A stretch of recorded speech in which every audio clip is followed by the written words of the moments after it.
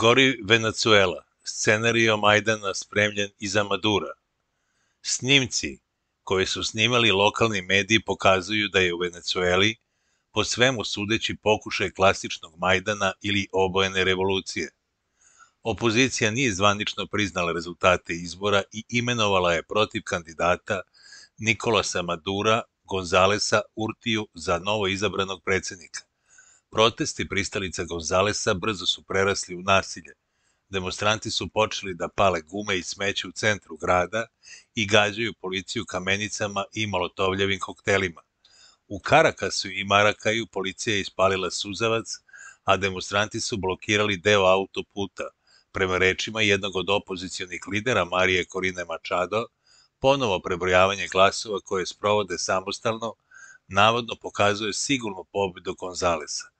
Ona tvrdi da je Gonzales dobio 6,27 miliona glasova, a Maduro samo 2,75.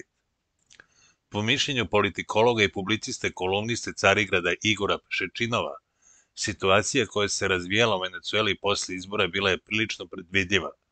Prozapadne kompanije preplavile su zemlje podacima istraživanja javnog mnjenja, koji su kategorički predviđali pobedu Gonzalesa. Navodno je trebalo da pobedi sa velikom razlikom od 20 do 40 procenata. Na primer, prema anketnoj kompaniji Delpos Gonzales navodno uživa podršku 52% birača, dok je 25% venecualenaca, venecualenaca dosledno spremno da glasa za Madura.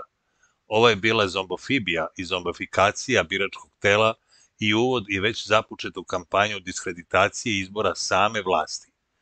Prema Pšenčikovu, potpuno je jasno da bi SAD mogla još jednom kao pre šest godina mogla da pokušaju revoluciju u boji u Venecueli.